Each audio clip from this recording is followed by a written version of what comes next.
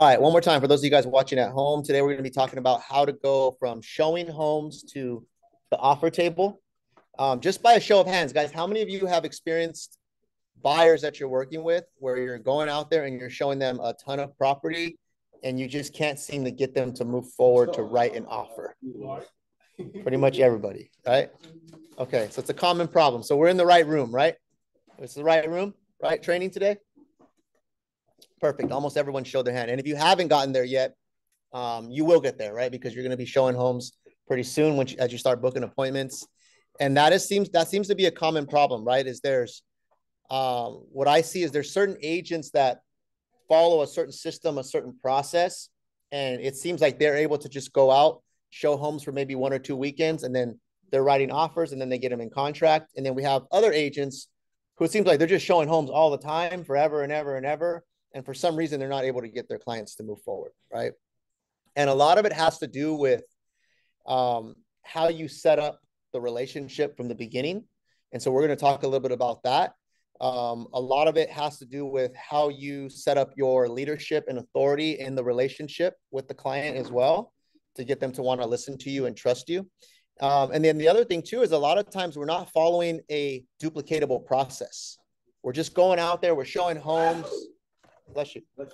We're going out there, we're showing homes, and we're kind of leaving it up to the client to let us know when it's time to write an offer, right? And so, if there's anything that you can take away from this training today, is if you want to move clients forward from showing homes to writing offers, you need to put yourself in the power position. You need to be in the leader position and you need to lead them to writing the offer. It cannot be like, hey guys, what do you think about this property? Where you're kind of leaving it up to them to determine what happens next. That's the biggest mistake that people make. And but if you think about it, there's a reason why people do that because it's kind of human nature. You go show a property, hey, what do you guys think? Right? Like that's kind of like the first thing that comes to your mind. But that's the biggest mistake that people make by asking, what do you think? Because what you're doing is you're turning it over to the client to just say, yeah, no, nah, right? Like you're leaving it to them now. Like they're they're in the power seat. Instead of you saying, hey guys, based off your criteria, based off what you asked me for, we need to now move forward and try to write an offer on this property, right? And so there's a difference. So we're going to walk through that and how to how to build that trust so that your clients can want to take those next next steps and take your advice. Um, so I'm going to go over a document called the Home Showing Evaluator. It's extremely simple document, guys. And then we'll do some role play. Um, it's also in, I also sent it to you guys. I emailed it to everybody as well. So you guys should already have it in your email where you could just print it. Um, and I have some copies here that I'll pass out. Um, but before we go into passing out the copies, I just want to explain what this is all about. And so the home showing evaluator on the surface, it just looks like a document, right? Just a simple document. Um, where at the top, it has the client's name, it has their top five must haves, and then for the properties that we are looking at, it has a score one through seven and some notes. So you guys might look at this and say, oh, that doesn't look too fancy. That looks like, you know, something super simple. Um, but what it is, guys, it's a system. It's a way that we do things. It's a way that we move people down the funnel, right? So if you if you can take anything from this, is that you have to have a duplicatable system. If if Brian was my client, I'm meeting with Brian, I need to walk them down the funnel, the sales process, the same way that I would walk Dan if Dan was my other client. I can't say like, well, I'm going to do it a little bit different for Brian. I'm going to do it a little bit different from Dan. I'm going to let Brian run the show on this one. And I'm going to, you know, I'm going to like make Dan write an offer on this one. Like, that's just not the way it works, right? Like you won't have a consistent um, result if you're kind of winging it and kind of doing it different for every single client, right? So this is where systems come into play. The same reason that we have a buyer consultation and there's a certain way that we present our information. There's a certain way that we get them to sign at the end. That's all like thought out right? That's all systematized. It isn't like hey let's just do it with this client and not do it with this client.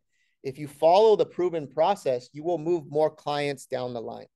Now can we guarantee that every client is going to move forward and every client's going to close? Absolutely not. But can a system increase the likelihood of the same thing happening over and over, right? Absolutely. Right. So I want you guys to get your minds into we need to have systems in place, right? There needs to be a system and look at this as a system because if you don't look at this as a system, then you're not going to do it. Like you'll listen to this training, you'll get some like, oh, that's a cool idea. And then you'll go back to kind of doing it the way you've been doing it, right? And so, any questions so far on like the importance of the system and the process? Cool. Um, okay, so the goal for you guys is that every time you show a home, you bring this document with you. Simple page. So if I were you, I'd print a bunch out, I'd have them in my car. And if I'm going to go show homes, I'm doing the same exact process with every single buyer that I work with. And so, and then you want to explain to your buyer, hey, Mr. Buyer, um, as part of our process with PRG, we have a proven system that has helped us focus more time and energy on the properties that match our criteria and less time and energy on the ones that are just going to waste our time and they're not even things that we would move forward on. We want to make this process as smooth and as efficient as possible for you so that when we do identify a property that meets your needs, we're able to act quickly and we're able to give you the best chance of success on this property because we're in a really competitive market. And chances are that if, if this one meets all your needs and you really like it, there's probably like two other, three other buyers that are going to show up like in, within the hour that are going to see it and they're going to feel the same way. Um, right. So as part of our process, here's what we're going to do. We need to be really clear on what your must haves are. And you should have already had this conversation in your consultation. But the reason I put it on this document is because it's important to remind people of what it is that they want. Uh, let me ask you a question. Have you had buyers where they told you they want one thing and then you go show them a property and now they're like asking for like other stuff or they're looking at if they wanted a four bedroom, but then they're sending you like three bedroom properties to go look at, right? Or they told you they want something on this side of town, but then they're like saying, hey, can we go look at this one? It's on the opposite side of town, right? So what happens, guys, is buyers like change their mind also. So our job as the agent and as their advisor is to like get them back to center of what they really want. And if they do go outside of that, then you got to ask them, well, hey, is this now your new criteria so that we can add it to the list? Right. So um, the top five must haves is just you being really clear on what it is that they want.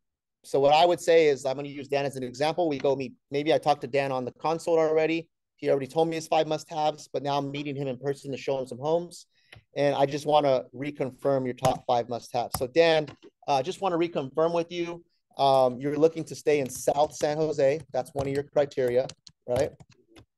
Your budget is still about 1.5 million or so, plus or minus. Yeah. Okay, about 1.5 million um, is your budget, and then you need at least four bedrooms. Is that correct? Four bedrooms, two bath. Four bedroom, two bath. Okay. Um, and then anything else specifically about the property that you need? Backyard. Backyard. Big backyard. Big backyard. Okay, big backyard. Okay, big backyard. Um, any other things like any any things that are deal breakers for you like the house has to have this or any bonuses that you would like? No south facing no south facing perfect. Okay. Okay dan perfect. Like this is really good dan. Like now i know I'm, I'm a little more clear on exactly what you want. So dan let me just reiterate. Want something in south san jose. Want something to be within you know 1.5 um, i'll say maybe max is like 1.7 based off you know what we, we talked to the lender about um, at least four better two back, right? Something with a big backyard, um, and then something that's not south facing. Okay, perfect. So um, if we go out there and we find something that meets all of this and it matches the criteria, it's within your budget, then um, we're gonna move forward and try to put an offer on a property like this. Yes. Right? Okay, perfect. Okay, so what did I just do right there?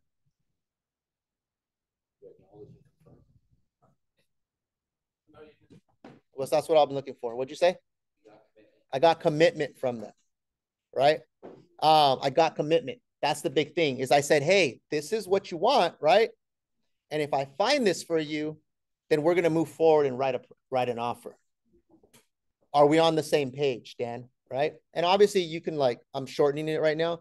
You can conversate a little bit more, elaborate a little bit more. You can have this conversation on the buyer consult as well. Um, and then say, hey, Dan, if for some reason anything changes with this criteria, or there's an update, let me know so that we can acknowledge it. And now we're looking at properties that fit your current criteria. Is that fair, Dan? Yeah. Okay, perfect. Okay, so I got, let me stop right there. Questions on this part, because this is the part where I might lose some people. Is it simple? Okay. So by a show of hands, how many people are doing this exact process right here? You're getting the criteria and then you're getting the commitment. Hey, if I find you this property, you're going to be ready to make a competitive offer. Nobody, right? Um, it's usually like, hey, let's go look at this property. Well, hey, what do you think? You guys want to write an offer, right? Like that's usually what happens, right? So in this scenario, guys, we are saying, hey, this is what you told me you want. Now, when we do find it, I have permission to move you forward to write the offer on the property, right? Um, that's the big difference. It's just a mindset and it's just you consulting them and you kind of taking that power position, right? In a professional way. Um, and so the next step from there is what I would do is I would establish that and then I would even email this to them or text it to them, right? And there's even a template that we have in Firepoint, which I can show to you right now, where I've already put this in a template.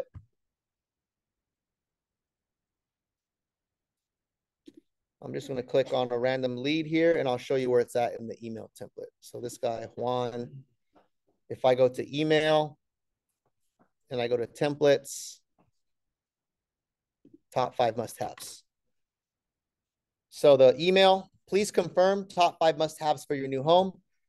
Jimmy and Dan, uh, Jennifer or Dan, per our conversation, in close, please find some options for your, uh, please find some home options for your review. So this is where you can have already searched for homes that match that criteria, and you can put the links to those in there, right?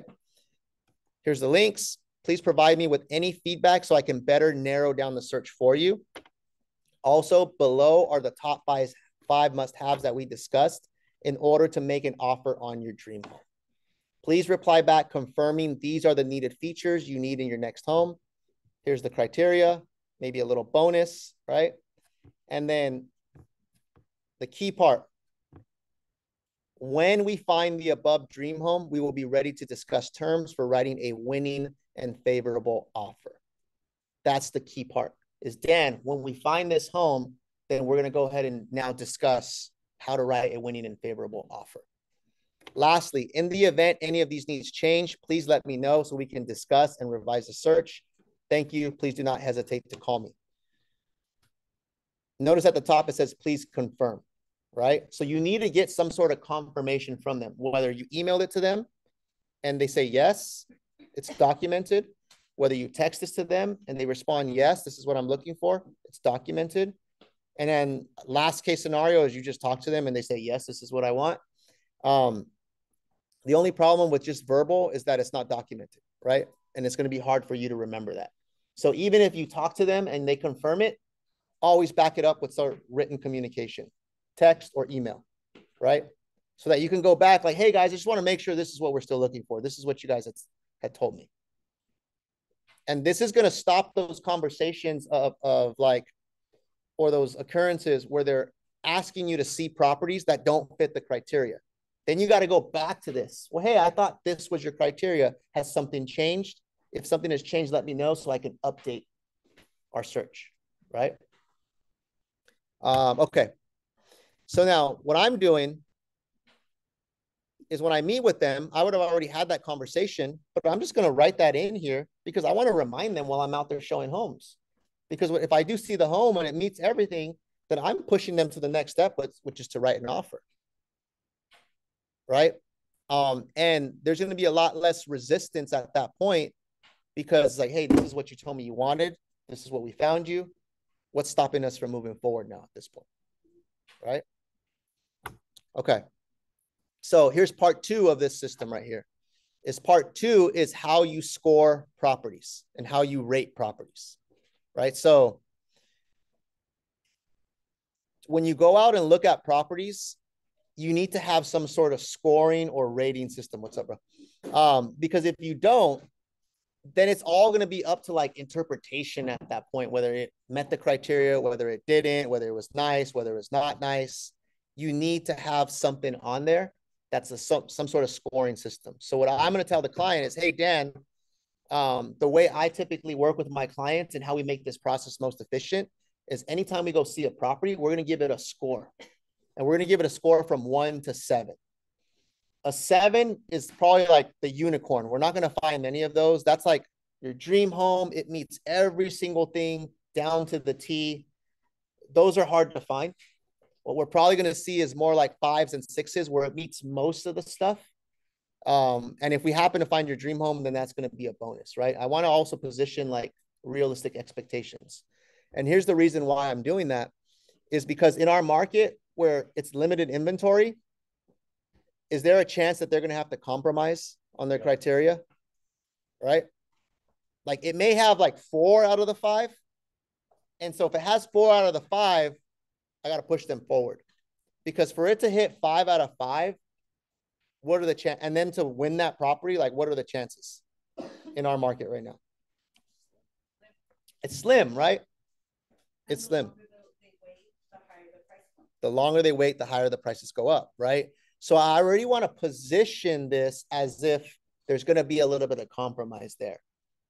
And I also want to not waste time on properties that just aren't even in the running. So anything that's a five, a six, or a seven, that's offer zone. Anything that's a one through four, let's not even like spend one more minute in the property, right? So let's say like I'm out showing homes. I'm writing this on there, one, two, three Main Street. And I'm gonna ask them, hey, like based off of one to seven, right? Five, six, and seven means like it meets most of your criteria. This is a home we would strongly consider. One through four is like it's just it's not up to par at all. I wouldn't consider it. What do you rate one, two, three Main Street? Um, Dan, right? Yeah, that one was probably like a four. Okay. Um, what would make it a five? Well, if it was in a different neighborhood. Okay, well, we can't change the neighborhood, right? So let's just not even. Now, if they're like, hey, if it had new paint, that would make it a six. Okay, then that's something that I can work with, right? we can work that out. Like, hey, I can get you a quote on paint. It's going to cost you, you know, 10 grand to paint the inside and outside. But if it's like, hey, it doesn't have the right layout or the rooms are too small, I can't really do much about that, right? So this is where you want to ask a little bit of questions on, okay, it's at a four. What would make it a five or a six? And is that something that we can control? And if it's not, okay, then it's a four. Okay, now we looked at 223 Main Street, right? What'd you give that one? Yeah, that one was about a six. That one had like pretty much everything we needed, a little compromise here and there, but that one was about a six. Um, and yeah, we like that property. Okay, great. Now we looked at one more, right? We looked at three, four, five Main Street. What was that one? Yeah, no way. That one stunk. It wasn't south facing. The rooms are too small. It just wasn't in the right school district. It wasn't what we thought it was after, you know, based off the photos. That one's like a three. Okay, great. So out of the three properties that we looked at today, Dan, it seems like 223 Main Street is the one that's in offer territory. And just to confirm, like our our criteria is, you know, South San Jose, which it is. This one's listed for about one 1.4. It's probably going to go a little bit higher and fall somewhere in your price range. It has the four beds and actually two and a half baths. So it has a one extra bath for you. Backyard, you love the backyard, right? It's completely remodeled. It's huge the way you want it. It's not south facing. And then the bonus is you said you wanted something that's moving ready. This one's moving ready, right? So I would say like this is, I agree with you. This is a six. So based off of that, we need to now meet and talk about next steps of writing an offer. So what I want to do now, Dan, is uh, let's go back to my office right now. If you guys have some time, or if not, if you guys want to go grab something to eat, let's jump on a Zoom call after, and then we're going to go over the next steps of writing an offer on this property. Right. And by that time, I'll, I'll have talked to the listing agent. I'll get disclosures, I'll run some comps, and then we'll go from there. That's pretty much it, guys, right? Like that's that's how you do it, right? Versus you go show them, all right, guys, well, what what you guys think of the, all the properties, right? And so you do never want to use the what do you think? You want to say, hey, based off what you told me, here's what I think. Are you in agreement? It's just a different frame of mind, right? This is what you told me you wanted. This is what I observed. This is what I saw. What's the score we gave it? Here's what I recommend now. Now we got to move forward and go write an offer. That's you taking ownership. That's you being a leader in this process. That's you moving them forward to get what they want. Now, some of you guys may be saying, "Oh, that sounds a little too pushy." Raise your hand if that sound if that comes off a little too pushy for you. That's fine. If it does. Raise your hand if like you can see how someone might think like that's a little too pushy. Okay, there we go. Right. Now, you got to remember, guys, that being pushy or persuasive, if it's for the right reasons, it's okay. Right. If they told you this is what they want, and you know that if they don't jump on this opportunity, the houses are going to be $50,000 more next month and then $100,000 more in two months. And I need to push these people and I need to like use their info back against them to have them make a decision. You're helping them get what they want. You're looking out for their interest. Now, if you're trying to persuade them to buy something that just doesn't make sense for them or it's not the criteria or anything like, then yeah, you're not doing something right. So in sales, to be a good salesperson, you do have to be persuasive. You do have to identify people's motivation and you do need you do need to push them when the time is right and if it's for the right reasons right? And i find like a lot of agents especially agents that are new in their sales career they're not comfortable with that because they're afraid if they push too much what are they afraid of? If they push too much. Lose the lose the client right that's that's what goes through people's minds whether they want to admit that or not like people think like oh like i don't want to rub them the wrong way or i don't want to like come off too aggressive or i don't want to scare them away because you know this is a lot of money on this deal right? But what happens if you don't push them to make the right decision? Yeah i mean they're gonna go away anyways. Right? Because they're gonna waste your time right they're going to be the ones like dictating everything that's happening, right? They're going to stress you out. They're not going to buy a property. The properties are going to go higher in price and they're going to end up paying more if they finally do pull the trigger on buying a property at that point, right? So if you don't push them when the opportunity is in front of you, you're going to lose them anyways. And it's going to be a worse situation for them if you don't seize that opportunity right there. So when you have them right there and you know that that's the right property and you know it meets their criteria and you genuinely believe like this is a good home for them based off what they told you they want, you have to push. You have to remind them of why we're looking at this property, what their criteria is, and you have to use this process of elimination by using the the one to seven system. And, and this is a really good format and criteria to follow on the wants and needs, but this can also be applied to the pricing. Dan did a really good job on our last client.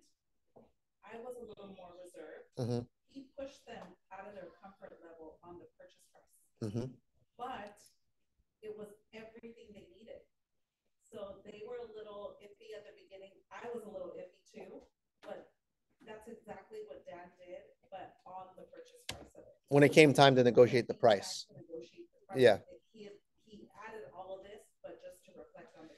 Yeah, absolutely. Right. Like this is obviously when we're showing and then we're trying to get them to write an offer. But when it's when you're in counter offers and now they got to increase their price and all that stuff, you're going to want to go back to their motivation.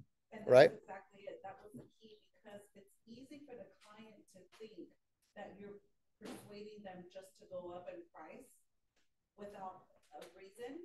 But Dan kept it back to like, hey, it has the bedrooms that you're needing. It has an updated kitchen. It's move-in ready you're really not going to have to do anything to it. The inspections are super clean. If we pass on this and we don't get it, you're going to end up paying that price point, if not higher. Absolutely. exactly how, how. And I brought up that Redfin. The Redfin thing. Then you, you brought up like the investment potential on this property, right?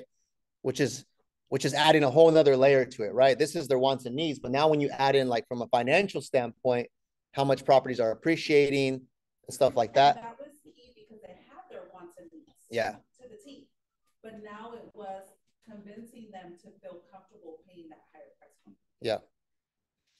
And so, uh, what I want you guys to we're going to do some role play with this in a second, but I want to also hear from you guys what sort of objections you're getting right now from clients not wanting to move forward after you show a home. What sort of objections are you getting currently and how can we figure out maybe how can we use this to handle those objections? Like, go ahead. Interest rate too? The interest rate's too high.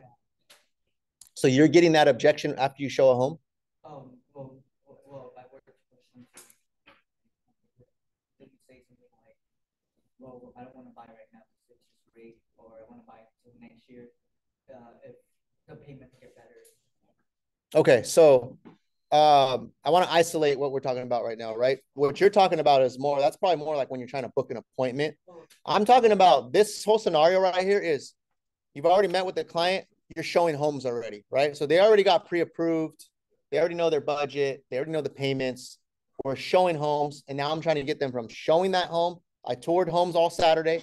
How do I get them to route right now write an offer? That's that's all we're training on right now, right?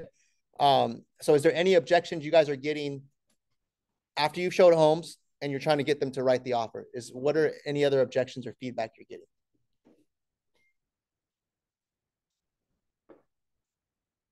Deb, did you have one this weekend? I know you were gonna get ready to write and something happened. Yeah. Was it anything related to this training? Honestly, look at it was like a personal situation with the client, so Okay, I don't think anything that that big. Okay. Okay. So let me ask, so who showed homes in this past week? Okay.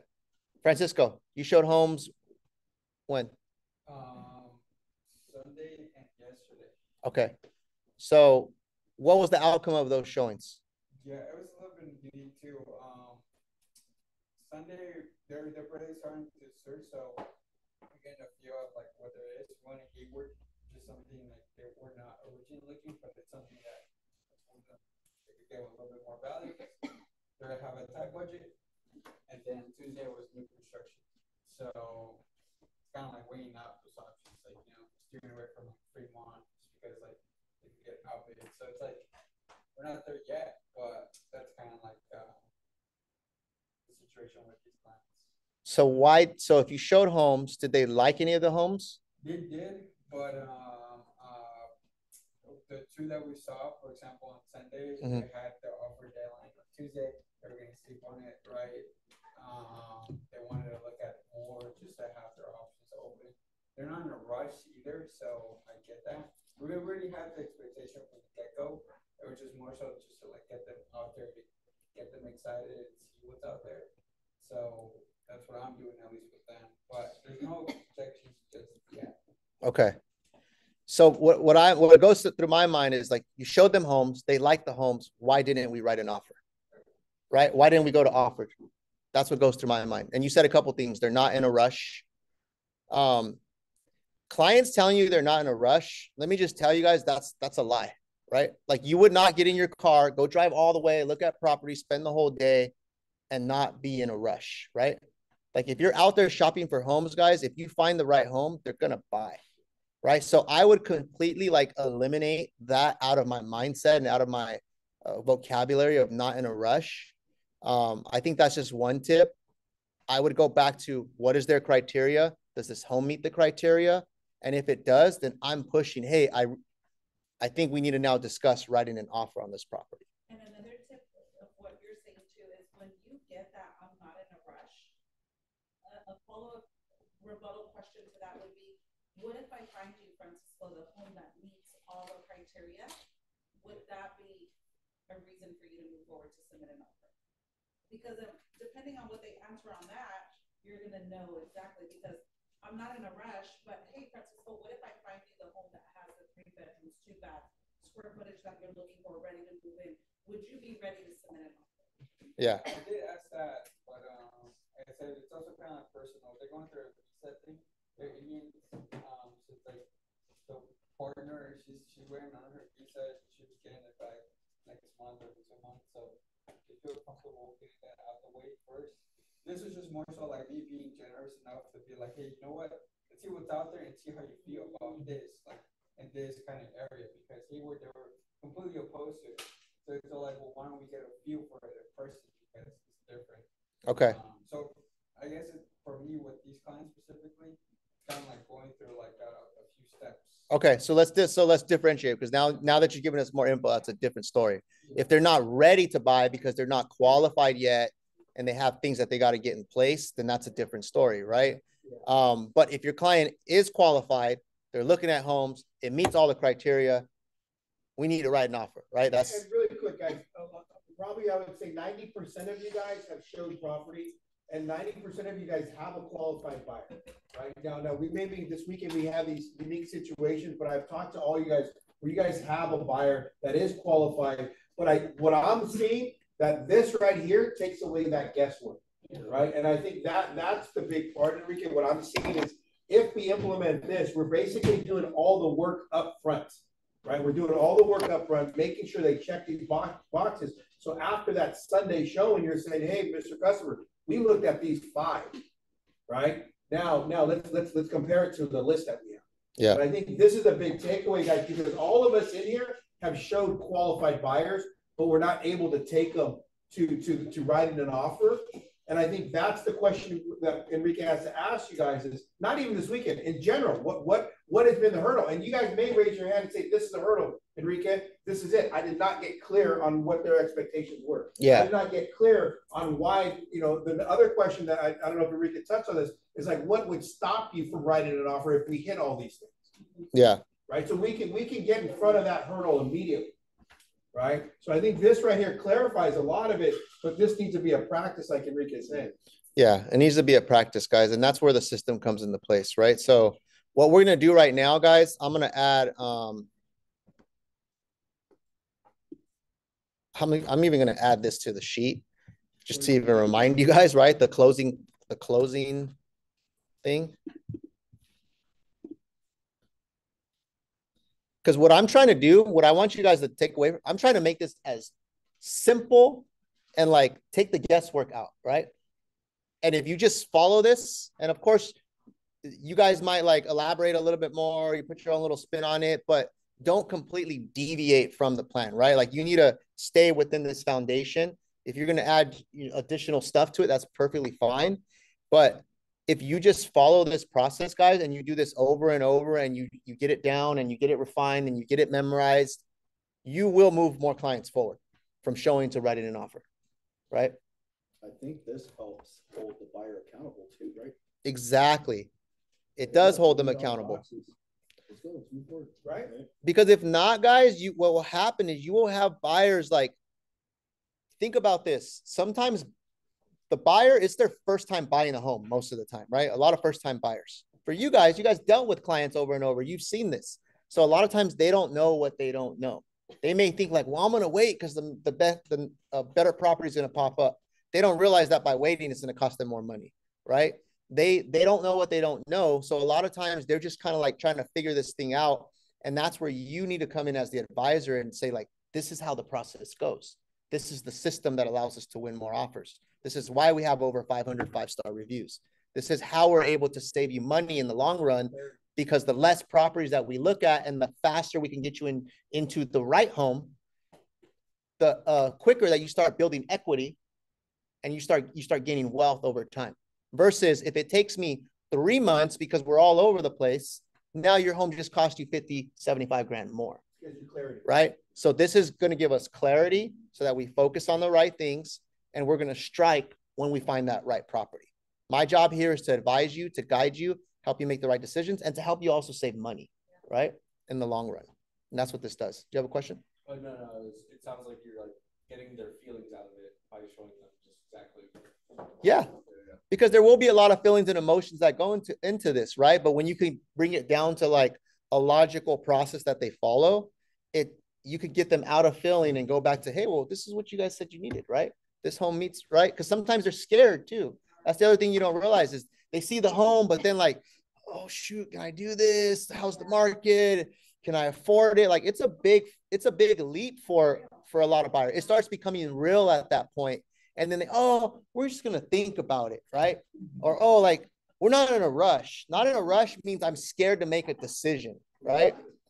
And so your job is to like help them not be scared and help reassure them, guys, that this is the right move for you based off our consultation, based off what you told me you needed, based off what you can afford. You already talked to our lender, you're already approved, you can afford the payment.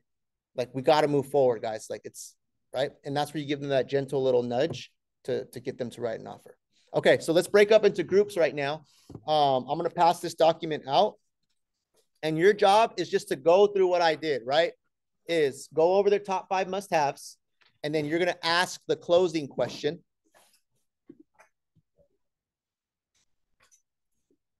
So here's the scenario, top five must-haves, and then I need you to ask this closing question. Hey, when we find you a home that meets this criteria, we will be ready to discuss the terms for writing a winning offer, right? Get their buy-in, right? Now pretend you showed homes, you showed three homes, one's a four, six, and a three, and I want you just practicing going through that dialogue of, hey, what'd you think about this home? What was the score? What'd you think about this one? What was the score? What'd you think about this one? And if anything is five, six, seven, this is now where you're gonna say, here's what we need to do next, right? Now you're pushing them to the next step to write an offer. Cool? Role play it. Yeah.